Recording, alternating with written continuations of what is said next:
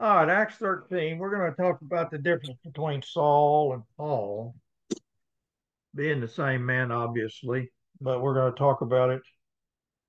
Uh, in Acts chapter 13, verse 1.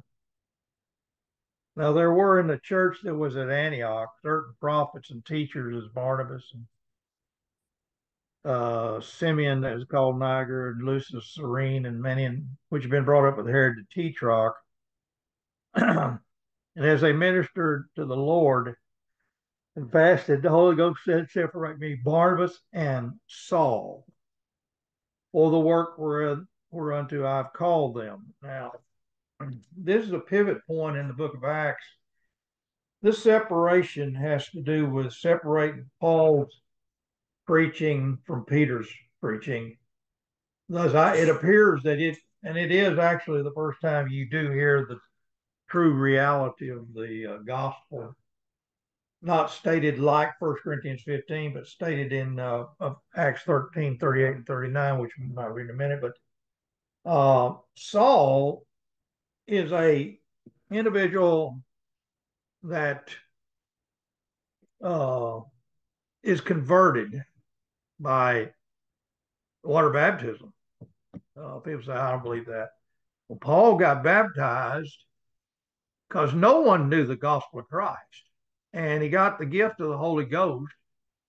And the gift of the Holy Ghost taught him. And he said so very clearly in 1 Corinthians 2, which the Holy Ghost teaches comparing spiritual things with spiritual. Uh, I don't care where Paul got the gospel. That doesn't make any difference. And I don't care where people want to make the body star or want to make this or want to make that. I know that Paul received the gospel. I know that in him first was a pattern. Those are the words that Paul used. I know that Paul's name is Saul is not called Paul until Acts 13. Now, he didn't have a name changed. Look at Acts 13. This is what it says.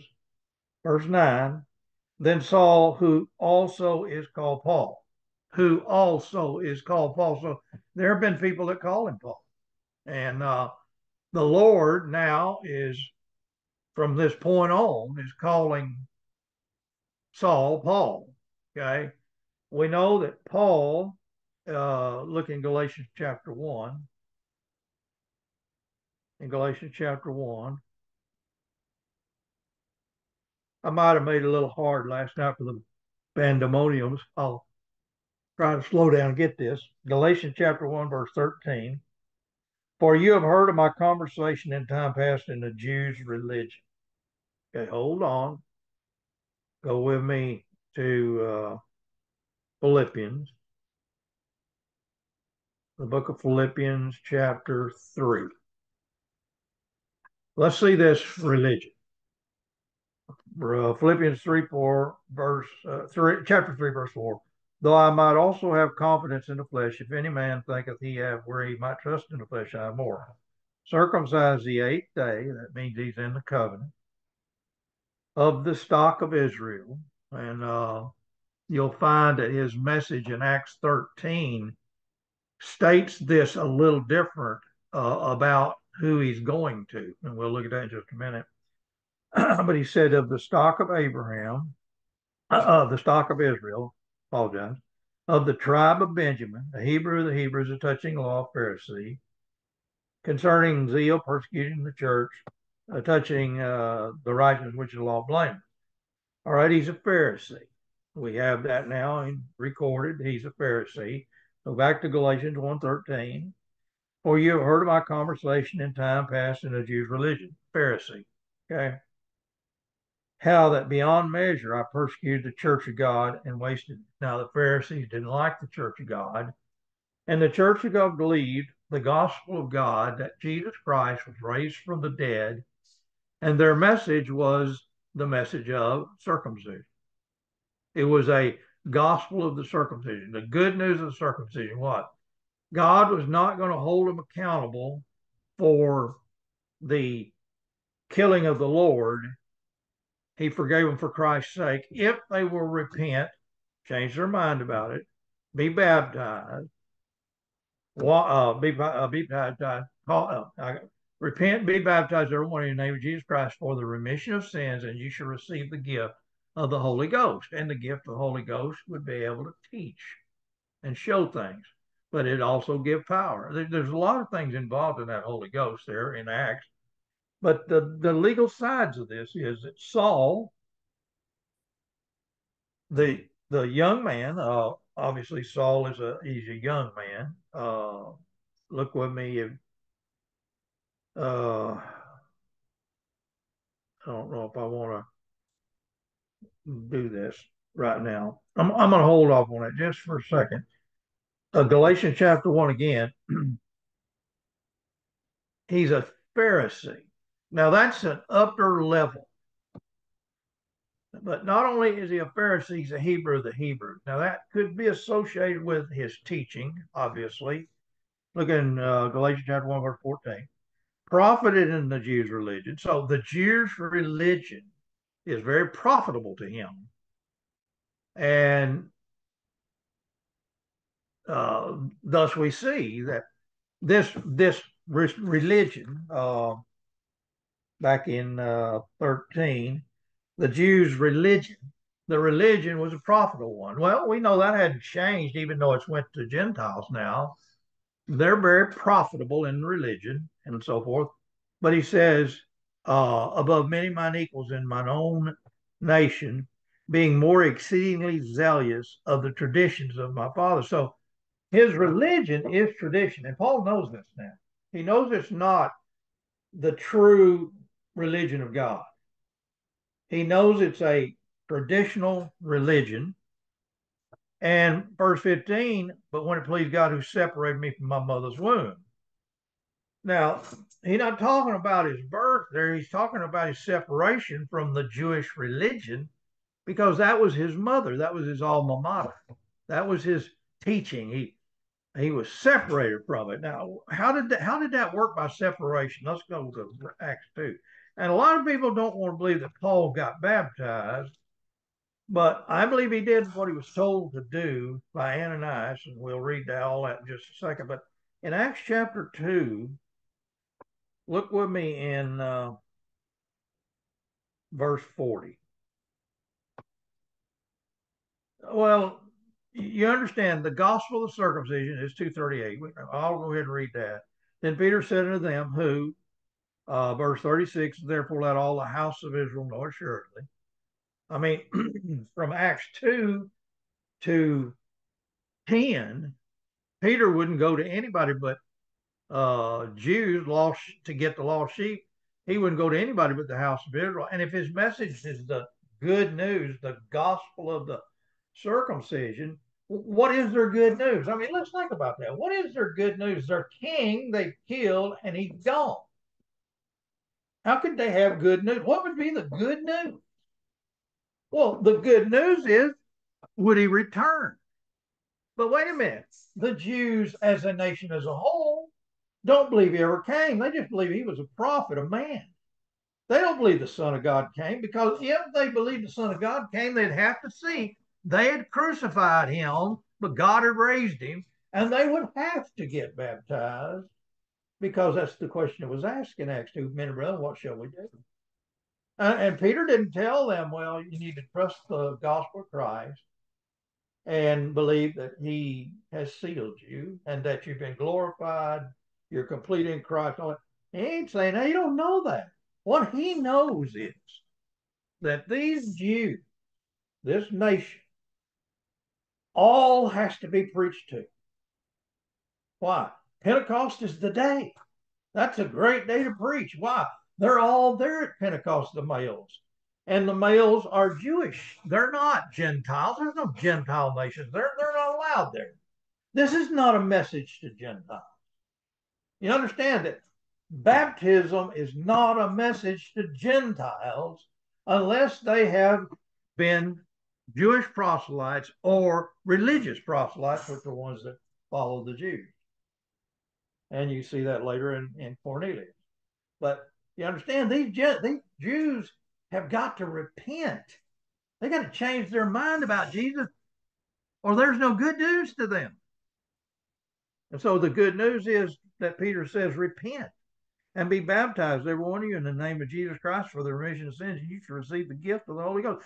God would give them the gift of the Holy Ghost, even though they killed, even though they denied his son, Jesus Christ.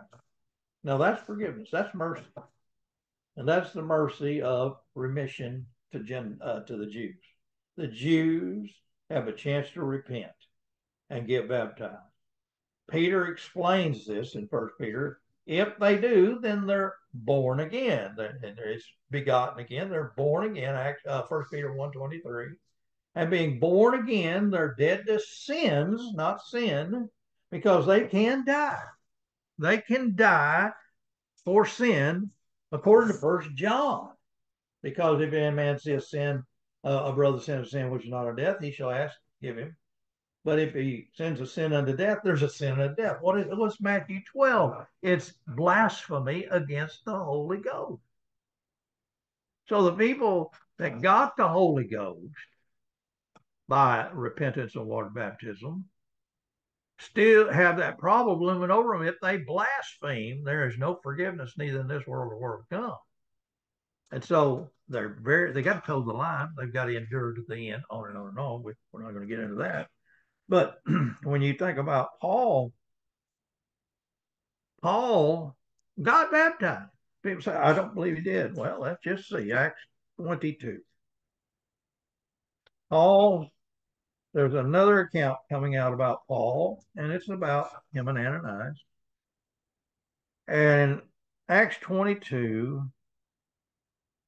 uh, verse 12. And one Ananias, a devout man according to the law, having good report of all the Jews which dwelt there, came unto me and stood and said unto me, Brother Saul, okay, now here he, that's how he knew him, Saul, okay, Brother Saul, receive thy sight, and the same hour I looked up upon him. Remember, Saul is blind. Now we're, we're dealing with Saul right now, so I'm not even going to really deal with Paul in the sense of that. Saul is blind the Lord appeared to him, and he can be appeared to because of the change of the message that's coming. Uh, let me see if I can get something here. Hold on to Acts chapter 22. Look in Acts, uh, uh, Galatians. No, I apologize. Timothy, that would be better. This this would be a better account. First Timothy chapter 1, verse 12. And I thank Christ Jesus our Lord who hath enabled me, for he counted me faithful, putting me into the ministry. He got forgiveness. How did he get forgiveness? Christ enabled him. Christ appeared to him, told him what to do. Okay, go to Acts 22. Let's see what he told him to do. Verse 14 and he said, The God of our fathers has chosen thee, that thou shouldest know his will, see that just one, and hear the voice of his mouth. For thou shalt be his witness unto all men of what thou hast seen and heard. And why tarriest thou? Arise, be baptized, wash away thy sin, calling on the name of the Lord. Okay? What am I supposed to think Paul did? Turn to Acts 9. In Acts chapter 9, the, the account of the appearing of the Lord to Paul, uh, uh Saul, here it goes. Verse uh, 15, no, let's go to 13. Then Ananias answered, Lord, I've heard by many of this man how much evil he had done to thy saints at Jerusalem. And here he hath authority from the chief priest to bind all that call on the name. But the Lord said unto him, Go thy way. He is a chosen vessel unto me to bear my name before the Gentile, the kings, and the children of Israel. For I will show him how great things he must suffer for my name's sake. Okay, now over to 22 again. In Acts 22, verse 10 uh, or verse 9. And they that were with me saw indeed the light, were afraid, but they heard not the voice of him that spake to me. And I said, What shall I do, Lord? And the Lord said unto me, Arise, go into Damascus, and there it shall be told thee, Bless your soul, all things which are appointed for thee to do. All things that Paul had to do to get ready. You understand? To get ready for what his ministry was going to be. Well, first, Acts 2. This has to happen. Now, I guarantee you, Saul, as a young man, when the Lord appeared to him and settled the issue of who he was, Saul is in a repentant mode. And the reason is he believes that Jesus is raised from the dead. He's the Son of God. And he preached it. Uh, also, get Acts 9, get uh, Acts 2 and Acts 9. Now, here's what happened to Paul, Saul, just like happened to those Jews in Acts 2. Saul didn't do it in Acts 2, but he did it in Acts 9. Now watch.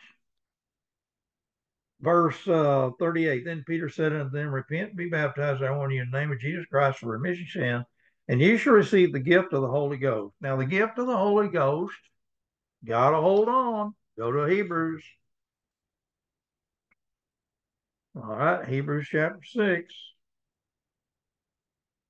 verse 3, 4. For it is impossible for those who are once enlightened and have tasted the heavenly gift and were made partakers of the Holy Ghost and have tasted the good word of God and the powers of the world to come, if they should fall away to renew them again under repentance. Okay? That's where your blasphemy against the Holy Ghost comes in the ones that repented in Acts chapter 2 got baptized, got the heavenly gift. They tasted the heavenly gift. They received the, the thing that the Holy Ghost would do, right? Well, in getting baptized, they turned from the untoward generation. Look in verse uh, 40. And with many other words did he uh, did he testify and exhort, saying, save yourself from this untoward generation. Okay. Now, Paul is separated from the untoward generation. He's separated from his mother, the uh, religious thing that he's in. Remember, he's a top dog. He's not just the everyday uh, souls that were at Pentecost. This is a top dog. This is a Hebrew of the Hebrews. This is a Pharisee. And Pharisees had their beliefs. We'll get into that in just a minute. But uh, so he has turned from this untoward generation by a repentance by an appearing. Now he kicked against Peter. He kicked against the Lord when he was on earth. He kicked against Peter. He kicked against uh, uh, Stephen, and then he couldn't kick against the Lord when he appeared to. The Lord made it where he saw it. I mean, he realized who he was, and so as a individual, Saul of Tarsus, this is what he preached. In Acts chapter 9, uh, verse 18, immediately there fell from his eyes that had been scales, and he received sight forthwith and arose and was baptized. Now, you don't have to rise to get spiritual baptized, but you have to rise and go somewhere and get baptized in water, okay? Because he's not standing in water when uh, Ananias comes to see him or whatever, okay? Now, verse uh, 19. And when he received meat, he was strengthened. Then was Saul certain days with the disciples which were at Damascus. And remember, the, there are disciples at Damascus long before Paul is separated, Acts 13 even. Okay, now on. In Damascus. And straightway he preached Christ in the synagogue that he is the Son of God. Now that's his repentance. And, and it's an absolute. Turn to Romans chapter 1 and watch. And this is what Paul said in Romans chapter 1. Okay. In Romans chapter 1, verse 1, Paul, a servant of Jesus Christ, called to be an apostle, separated under the gospel of God.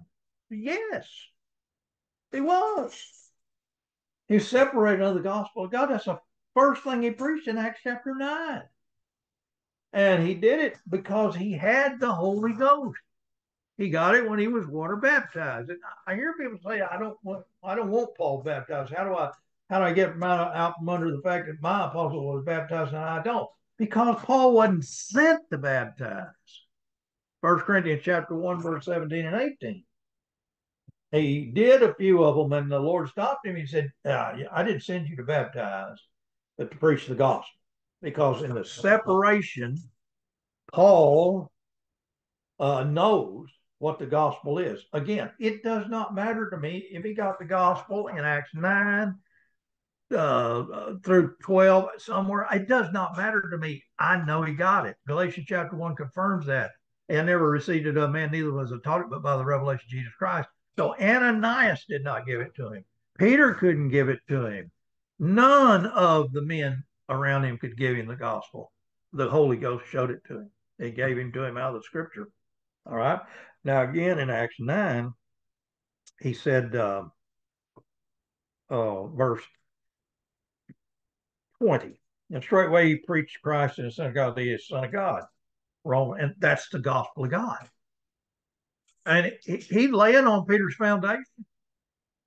But Paul said he never laid on another man's foundation. When he separated, that happened. Acts 13, he began to preach on another foundational truth and it is according to the prophets and the uh, the uh, scriptures. Yes, Jesus Christ is the Son of God. You can't you can't imagine receiving Jesus Christ, your Son of God, uh, receiving Him as your Savior unless you knew who He was. Okay, and in Romans chapter one, verse two, which He had uh, promised before by the, His prophets by the Holy Scriptures concerning His Son Jesus Christ, our Lord, which was made of the seed of David, according to the flesh and declared to be the Son of God with power according to the Spirit of holiness by the resurrection from the dead. There it is. Why is Jesus Christ Son of God raised from the dead? But also remember, now this is a is a catchy phrase in Second Timothy chapter 2. You, you wonder why he said it the way he did. Second Timothy 2 7, consider what I say, and the Lord give the understanding all things. Remember, remember, Timothy, Jesus Christ was raised from the dead according to my gospel. Okay? According to Paul's gospel, we have to realize that Jesus Christ is the Son of God. Turn to Galatians. Galatians chapter 1, verse 15.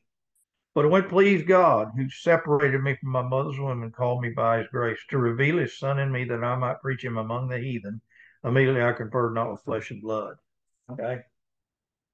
With this calling, Paul's going to preach to the heathen. And he's not going to ask Peter or any of them men what to say.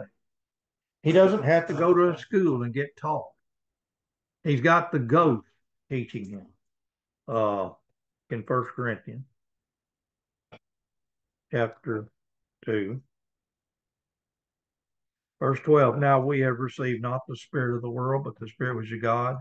Now here it comes, that we might know the things that are freely given to us of God, which things also we speak, not in words which man's wisdom teacheth, but which the Holy Ghost teacheth, comparing spiritual things with spiritual.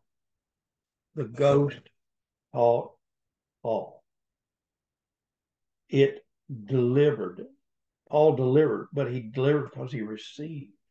I never received it of man, neither was I taught it, but by the revelation of Jesus Christ. And that revelation could go from the appearing and the knowledge.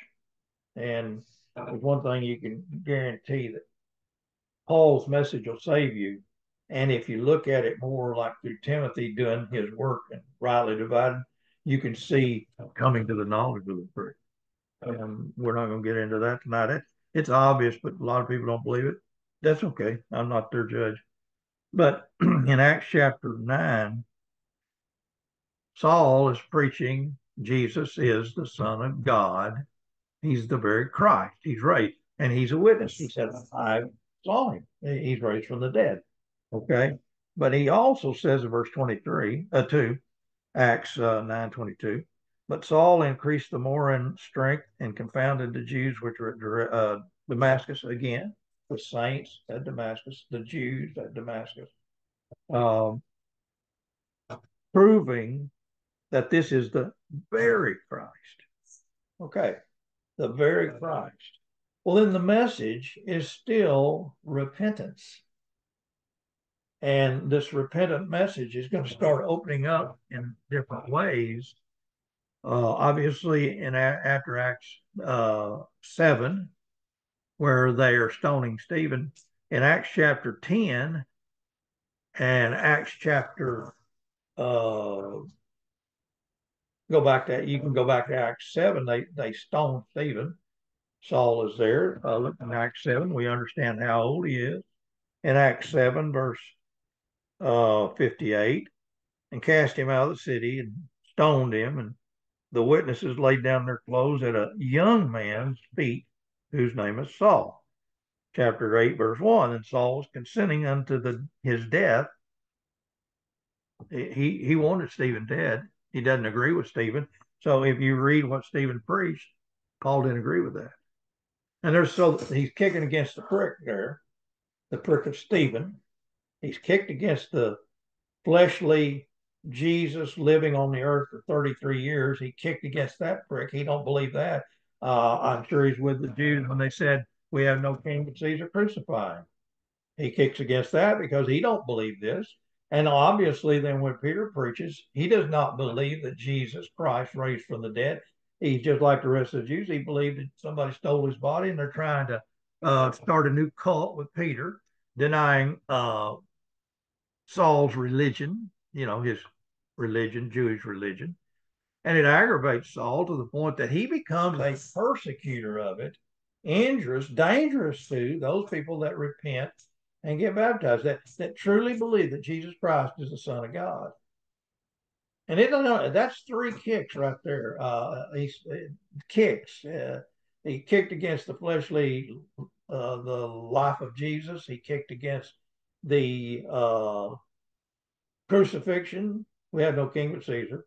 He kicked against uh, Peter's message of the fact that he's raised from the dead and that they can repent. He's not about to repent and be baptized. Obviously, Paul falls into the category of Mark 16 he that believeth and is baptized shall be saved, but he that believeth not shall be damned. Well, Paul was damned at that time until the Lord appeared to. You got to understand that no doubt the gratitude of Paul in so many things that the Lord forgave him of. And when he said chief of sinners, you understand we're st- we're talking about some chief sinning here. We're talking about the, the fact of the chief sinners when he said, of whom I chief. Uh, look back at First Timothy again.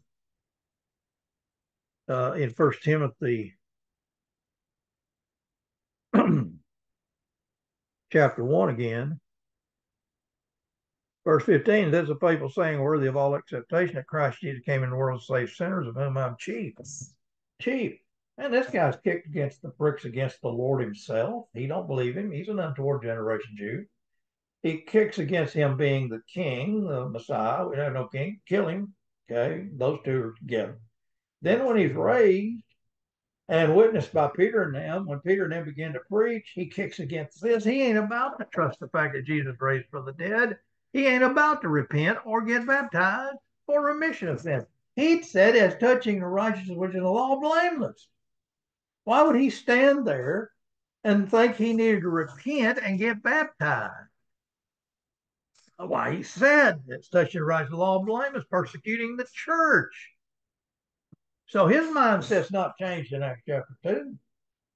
Something's going to have to drastically happen to this Saul, this young man, to change his mind because he is set to persecute and to injure and to do whatever is necessary to get rid of these people because he don't believe this.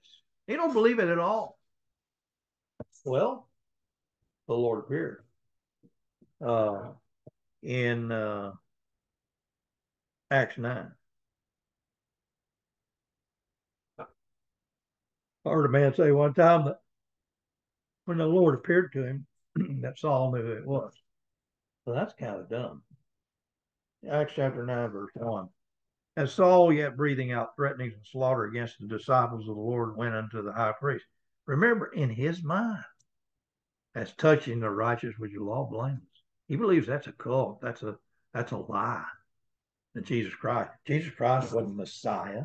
We didn't kill our Messiah. Would we kill our Messiah? He was just a prophet and a man. Okay. Verse 2 and desired to him letters to Damascus to the synagogues that if any were found of this way, whether they be men or women, he might bring them bound unto Jerusalem. He's not he's not a, saying I'm just going to bring them in any men or women, it said. Okay. And as he journeyed, he came near Damascus, and suddenly there shined round about him a light from heaven, and he fell on the earth, uh, fell to the earth, and heard a voice saying in him, Saul, Saul, why persecutest thou me? That's the young Pharisee, the young man. That is the zealot. That is a man who was circumcised the eighth day, a Benjamite, a, uh, a Pharisee, uh, Hebrew of the Hebrews, touching the law, of Pharisee, as touching the righteous law of blame. He, he, he had no need for Jesus' preaching. Isn't that amazing? While Jesus on earth, he had no need for his preaching because his mother, his religion, had taught him well. Uh, that's how you run into people on the street.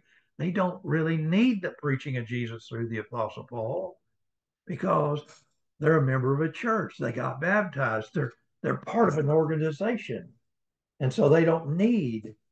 They're not lost. If they were lost, they'd have to have help. You understand in Acts chapter two the power of the ghost with Peter preaching those people, those men of Israel that are going to turn from that untoward generation by repentance and water baptism need something. They said, Men and brethren, what shall we do? I mean, you got people real confident and and think because they go to church and everything that it'll all be all right. That is not going to make them all right. Going to church, being water baptized, uh, uh, going on a regular basis, uh, doing the Lord's Supper, all that stuff, that doesn't mean a thing to God. Not in the dispensation of grace. It has nothing to do. Now I hear people say, well, I, am going to get water baptized, just a cleansing of the flesh. Water baptism saves. You have to separate the doctrine of water baptism, who it saved, how it saved, and when it'll save them, versus are we saved already? Yes. And that'll be the Apostle Paul will deal with it later. Right now, we're dealing with Saul. Saul's a denier of Jesus Christ as the Son of God. So you got in Acts chapter 9, he said, uh, verse 5, Who art thou, Lord? And the Lord said, I am Jesus, and thou persecutest hard for thee to king against the pricks. The pricks. Prick of Jesus on earth, prick, including the cross, prick of Peter's message, Acts 2, men uh, let all the house of Israel, all males appeared at Pentecost. And then the prick of Stephen. I mean, he ain't going to believe what Stephen preaches, and he's he consenting unto his death. And consenting unto his death means he don't believe what Stephen preached either. But the glorious thing about Stephen is he prayed for those stoning him. And that shows up in First John. If a man see his brother sin a sin which is not of death, he shall ask the prayer. And you'll find that there's prayers through the Bible. Jesus prayed, Father, if it be thy will, let this cup pass me, nevertheless my will, but thy will be done. And then on the cross, he said, Father, forgive them. They know not what they do. Stephen, Acts 7, you stiff necked, uncircumcised, and ears. They took him out and stoned him. Paul, Saul, little Saul, young man Saul, holding their clothes, consenting unto his death. And Stephen prayed for him. You understand? He prayed for him. That means that God can do something. He enabled. He's enabled. Jesus enabled him. And he counted him faithful. That means that Paul's faithful to the end. And we see that in the later parts of his letters. But now watch. Um, he has the bragging rights of who he is, his heritage. Uh, the kicking against the pricks is Acts 2. Uh, he won't come out of the untoward generation because he's, uh, he's part of the untoward generation. So later on, he's going to have to be separated from the untoward generation. Uh, the second the second prick against it is Acts 2 22. Uh, looking at Acts 2. I mean, Saul of Tarsus here, he's a Jew, Benjamite, he's a Pharisee, he's going to be here at Pentecost. Acts 2 22. You men of Israel, hear these words Jesus of Nazareth, a man approved of God among you by miracles, wonders, and signs, which God did by him in the midst of you, as you yourself also know. Him being delivered by the determinate counsel and foreknowledge of God, you have taken and by wicked hands have crucified and slain. If he doesn't get water baptized here, he's kicking against the pricks. And he doesn't. He kicks. So then you go to Acts 7. And in Acts 7, you've got Stephen preaching. And look with me in verse 54. When they heard these things were cut to heart, and they gnashed on him with their teeth.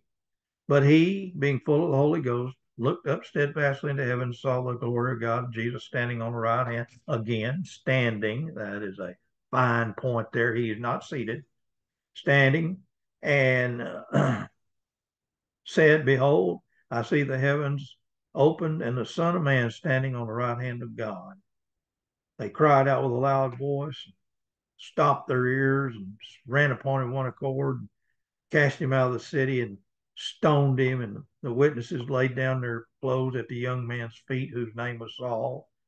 And they stoned Stephen, calling upon God and saying, Lord Jesus, receive my spirit. And he kneeled down and cried with a loud voice, Lord, lay, listen very carefully, lay not this sin to their charge. And he said this, he fell asleep. There's a man asking for Saul. Just take the rest of them out of the picture.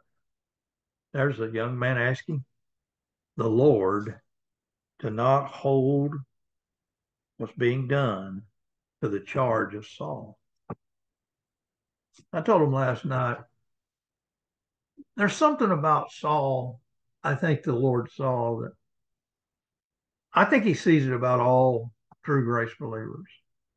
There's something wrong in religion and you may have done your religious thing and but there's something just wasn't right. Now that doesn't mean you're saved. And if you pulled out of the church because it wasn't right that doesn't mean you're saved. But you would have a greater chance if you came out of the church, whether it's by anger or jealousy or an argument with somebody in there, you didn't like somebody, or you didn't like what the preacher was saying, or you didn't like the preacher, blah, blah, blah. You come out and God might just send a witness to you. What's amazing about Saul is he had a personal witness, Jesus himself. And I think that we can count that to a lot of things. Like in First Thessalonians, the Lord himself shall descend from heaven. The Lord himself's coming after his own body that's here on earth, that's alive. And he came personally to Saul. And when I say came, he, he appeared to him. I don't know where he was at. I don't know how he was, where he was above Saul or whether he was in the room with Saul with him blind. I, I don't know. But it's a light. And we know that Jesus is the light. And he appeared to him personally. So you think about old Saul may have had a question or two arise in his heart, which it appears most people, if they ever begin to doubt religion they're in, or doubt or see that, hey, this ain't working. What's the answer, Lord? And they're calling on a God they don't know. Well, Paul and a, any faithful man that's following Paul is going to show you who God is. God is the creator of heaven and earth. God inspired by scripture the scriptures. You have the holy scriptures to look at. And God, his testimony is given to us through faithful men that teach. And I tried, and I, my greatest desire is to be faithful all my life with the message of the gospel. But in this sense, Paul, Saul of Tarsus, this young man, He's not stoning Stephen, he's holding the clothes. And he also has letters later on. So maybe there's something that the Lord saw. He said, He counted me faithful. Now, Saul was a faithful man as Benjamite, as a Pharisee, no doubt. So maybe the Lord saw that if Saul was presented the appearing, he would be faithful. He did. He said he was. He said he did. And so the Lord chose Saul, a Benjamin, who later on declared all the religious things he did, the circumcision, the the uh, keeping the law Pharisee, the, you know, those things he counted it but done. Now, you're not going to find many religious people that will declare their tithes, their offerings, their baptism, they're going to church or whatever they're doing, or the preachers in there. What they do is dumb. And the reason is they don't see it to be that way because they don't see the conversion of this man, young man Saul, who is also called Paul, and his ministry that he begins in Acts 13. People say, You think his ministry began in Acts 13? Not only do I think it, I can read it. Acts 13 again.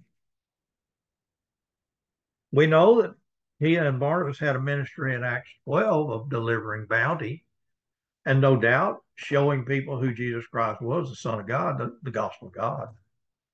But in chapter 13, verse 2, as they ministered to the Lord and fasted, the Holy Ghost said, Separate me, Barnabas Saul, for the work wherein I've called them.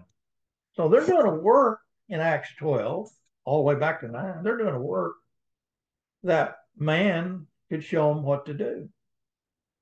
I mean, Paul, a Saul of Tarsus, went and visited Peter for 15 days, and I'm sure they talk about Peter's gospel. They talk about a lot of things. I can't go into what it says because I can't go in that. Uh, hey, I don't know what the conversation between Peter and, and Saul was, but I also know something.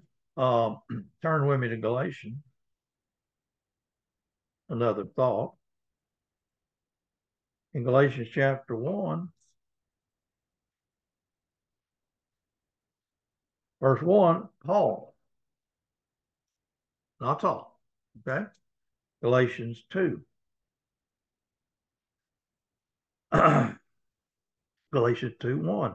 Then 14 years after, I went up again to Jerusalem with Barnabas, Titus with me also.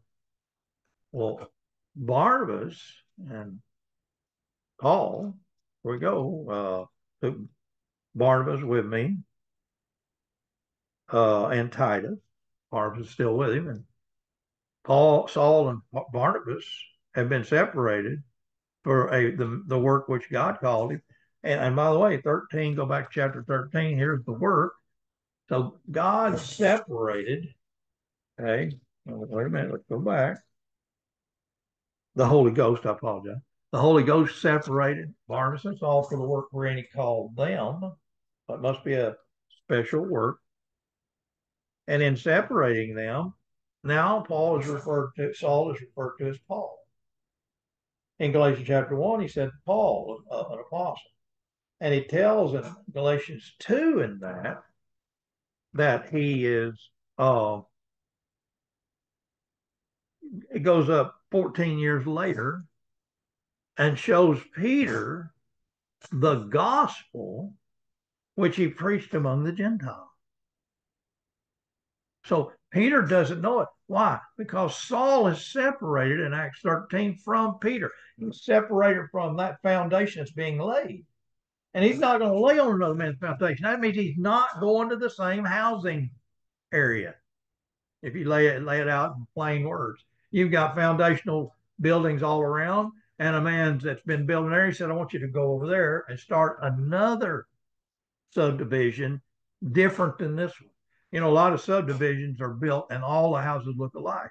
They may move the door back and forth to change some things, but they look alike. But what if a man's been building on that and he said, All right, I want you to go over to the other side of town, a new subdivision, the roads are laid, and I want you to lay the foundation there with your building uh, uh, abilities. Well, that's what Paul is about. He's not going to lay on another man's foundation. And in Acts 13, here's what he said in verse 26 Men and brethren, children of the stock of Abraham. See, he said he was of the stock of Israel. Here, the stock of Abraham is Ishmael and Isaac. That's all men. And that's the beginning of their hatred for him. There's no doubt about it. And uh, men and brethren, children of the stock of Abraham, and whosoever among you feareth God, to you is the word of this salvation sent. This salvation must be different than what Peter is doing. And if Paul never laid on a foundation, over here at this subdivision, Peter's laying a foundation for the Jews to live in. But over here, Paul's laying a foundation for those that fear God, those that are of the stock of Abraham, and whosoever they can go in there and live. I mean, kind of a simple illustration, but you can think about it that way. So here he goes out, men and brethren, verse 26, Acts 13, 26. Men and brethren, children of stock of Abraham, and whosoever among you feareth God to use the word of this salvation sent. Now, look in verse 38. Be it known unto you, therefore, men and brethren, stock of Israel, whosoever fear God. Therefore, men and brethren, that through this man is preached unto you the forgiveness of sin. Okay, you got a subdivision over here that Peter builds, they got remission. You got a subdivision over here that Saul's building, and they got forgiveness. They're living in the house of forgiveness. These are living in the house of remission. Why? Because the house of remission is going to go through the tribulation if it is not taken out of the way, and it is because of the body of Christ. The tribulation could have started at any time in Acts 2, 3, 4, 5, but it didn't. Why? God began to open the door to people, and he's got this man Saul, this young man Saul, who is a haughty individual, but yet he's got something about him that God saw. And when God saw it, he his son appeared to him, showed him who he was. Saul began to preach that he was the very Christ. Preached to him that because he was the Son of God, he was the very Christ. He's raised from the dead. And when his message changed later on in his life, I believe that's why he told Timothy, consider what I said, the Lord give the understanding all that. Remember, Jesus Christ of the seed of David was raised from the dead according to my gospel. You have to have the resurrection in Paul's gospel, or you're still in your sins. That's 1 Corinthians 15. The resurrection, the power of his resurrection is that you're forgiven. Now remember, here's a message of forgiveness from Saul, who's called Paul, Acts 13, who's been separated for a ministry that the work, but I apologize, I want I didn't want to go without this. A work. Look with me in Acts 13, 39. And by him all that believe are justified from all things which could not be justified by the law of Moses. Okay. Verse 41 no, 40. Beware therefore that that lest that come upon you, which is spoken of in the prophets. Behold, you despisers and wonder and perish. For I work a work in your days, a work which you, ye shall no one know in no wise believe, though a man declare it unto you. Boom. That's Habakkuk 1 5. And Paul's Isaiah 49 6 is fixing to, he's fixing to quote that in verse forty six and 47. And you see that the Jews here and the stock of Abraham, the Jews here are not going to believe what Saul said. Number one, why would they take Jesus as their forgiveness? And two, are you telling me that the law no longer condemns us if we break it? And that's what he just told them. This salvation that I got from the Lord you're justified from all things which you could not be justified by the law of Moses. And buddy, that comes up in Romans 3, verse 20, 19, 20, 21 in that area. So here you got it. And so he says that that work he's doing is the work the Lord gave him, which matches Acts 13, 2. Uh, look in verse 13, 2. As they ministered uh, in the, to the Lord, and fasted. The Holy Ghost said, Separate me, Barnabas and Saul, for the work wherein I've called them. There it is. So they have not been doing this work. That's, I mean, not separated anyway. That's all I can read into it. So then I go back to Acts 13, 30, uh, uh, 46. Then Paul and Barnabas waxed bold and said it's necessary that the word of God should first have been spoken to you. That's the Jews. It's always you first in Paul's ministry uh, up to Acts 28. Okay. First to the Jews, uh, first been spoken to you, but seeing you put it from you and judge yourself unworthy of everlasting life, lo, we turn to the Gentiles. So every city went in, it was Jews. Then he would turn to Gentiles. Well, what Gentiles? Those that feared God. What Gentiles? Romans 8, saved by hope. Those Gentiles that got to hear the gospel according to the scriptures. On and on and on. Those Gentiles that some of them had turned from their dumb idols. Some of them uh, uh, may have gotten circumcised as the Romans did. It just goes on and on with that. Now watch. For so has the Lord commanded us, saying, I've set thee to be a light of the Gentiles, that thou shouldest be for salvation to the ends of the earth. Not all of the Jew first going to get it, the Gentiles are going to get it. They're going to get salvation. Now look at verse 48. Uh, 48. And when the Gentiles heard this, they were glad and glorified uh, the word of the Lord and as many as were ordained to eternal life believed. And ordained to eternal life is Romans 8. Go to Romans 8 and 1. In Romans chapter 8.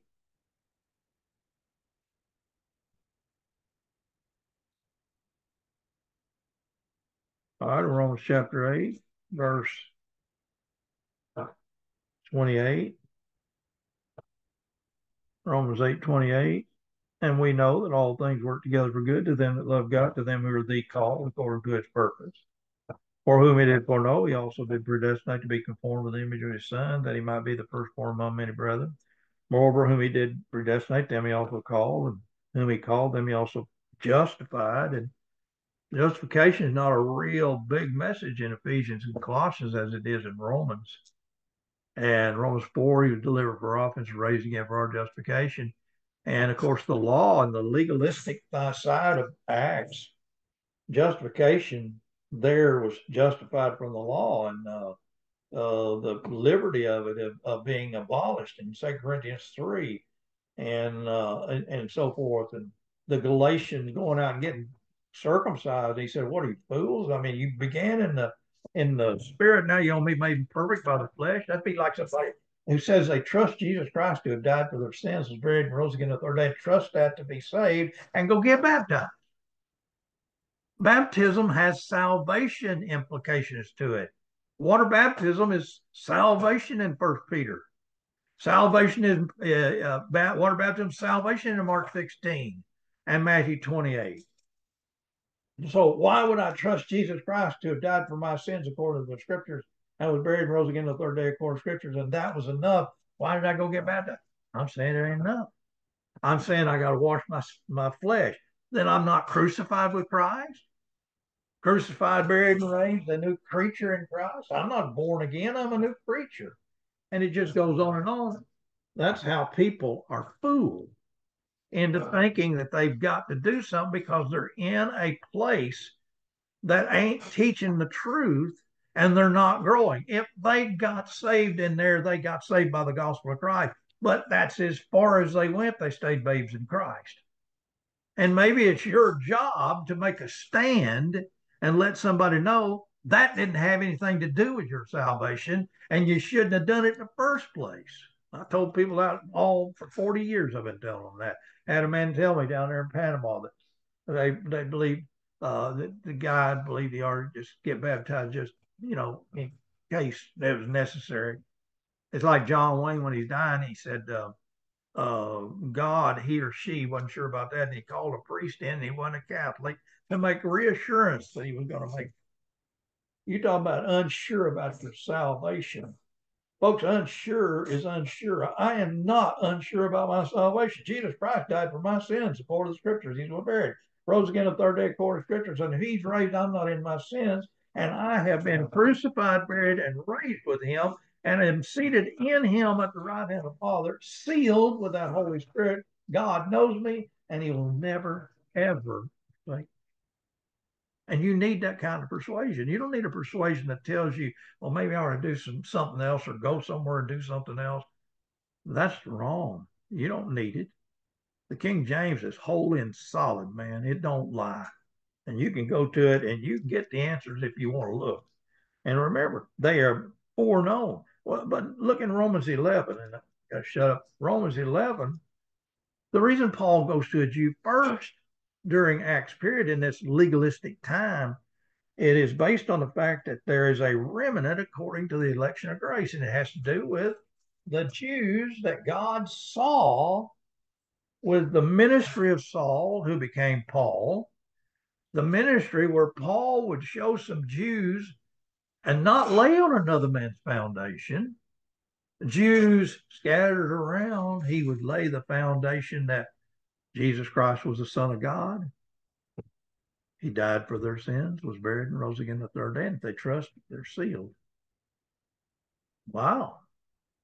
They're justified from all things, but you not be justified by the law of Moses. Freedom. Their the liberty. And on and on. Uh, Romans 11, verse 5.